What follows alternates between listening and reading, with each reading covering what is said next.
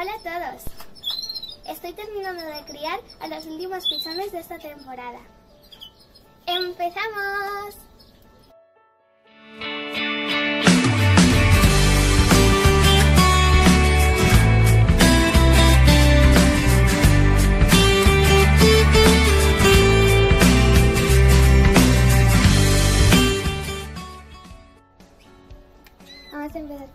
Como siempre. Sí. Mira, tenemos aquí primero las hembritas que hemos separado ya. ¿Vale? Que estas han dejado ya de criar. Así que las tenemos por aquí separaditas. Estas son las rojas. Ahí está. Aquí tenemos a, a un pichón. Aquí nos queda un último pichoncito. Están criando.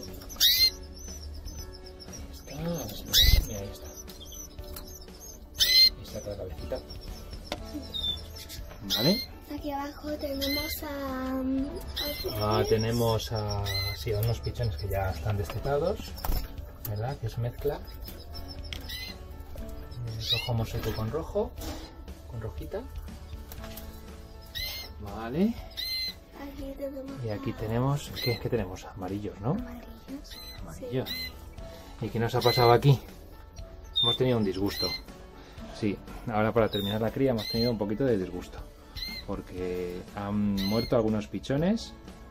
Porque creemos que ha venido pues un gato o alguna limaña, algo por la noche.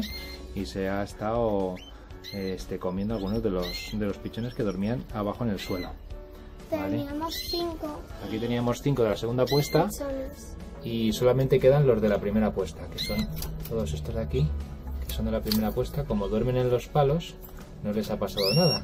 Cre- Creíamos que eran el macho o la hembra que los mataba, sí, pero después de haberlos dejado separados y... hoy hemos hecho una prueba con estos. Sí, con esto de aquí, Con este de aquí. el rojo Hemos- mosaico. teníamos tres. A ver, ahí, ahí queda un pichón ahí al, al fondo.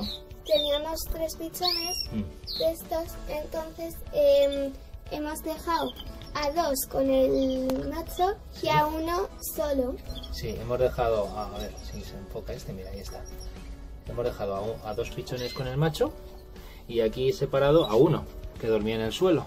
Entonces, eh, hoy pues solo queda uno Solo que estaba con este. el macho. Sí. O sea que se han comido al, A los a que- uno que estaba con el macho y al, Sí. y al que estaba solo. que casualmente eran los que dormían en el suelo. ¿Por qué? ¿Y por qué nos ha pasado esto? Pues porque aquí hay espacio Aquí hay espacio. Aquí hay espacio. Se pueden meter. y se pueden meter por aquí.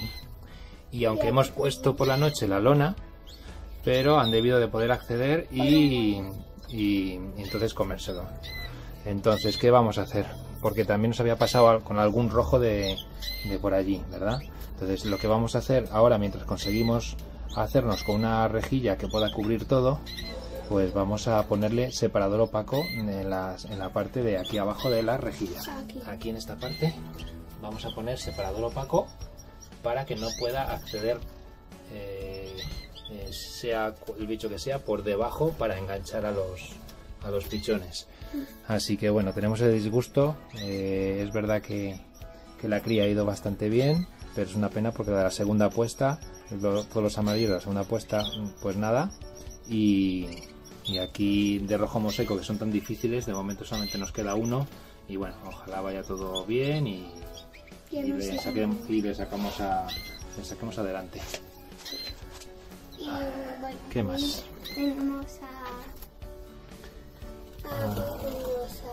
Aquí tenemos dos rojos mosaico cremos, porque estos son mezcla con rojos, pero ya veis que están cogiendo colorcito.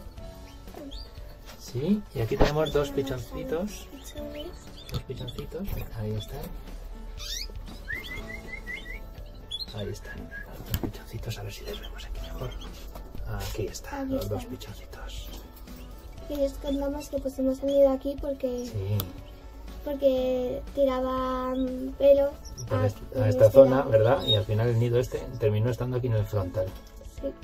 Fijaos que van qué guapos, así que habrá que estar especialmente pendientes porque estos pichones cuando salten del nido hay que proteger el suelo para que no les pase nada.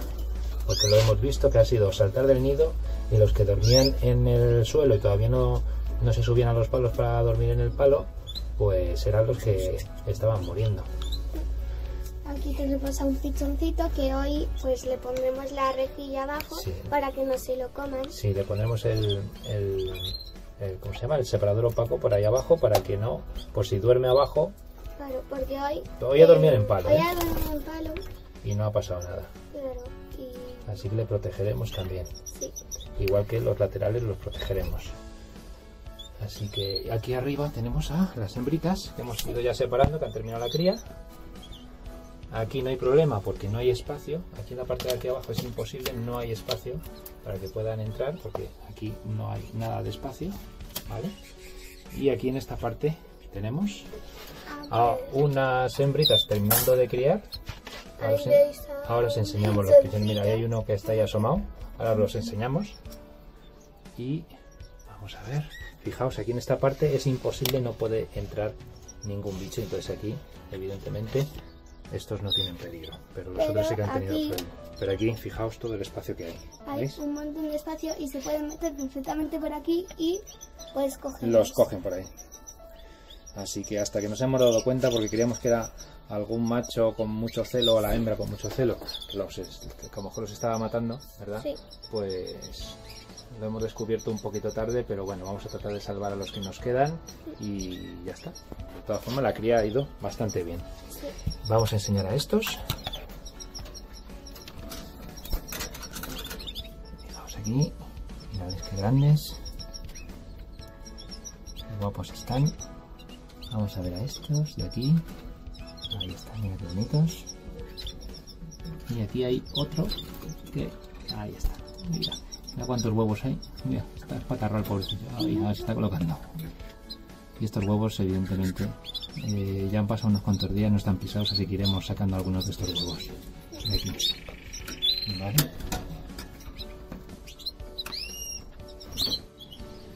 A pesar del disgusto que tenemos, la cría ha ido bastante bien. Hasta el próximo vídeo.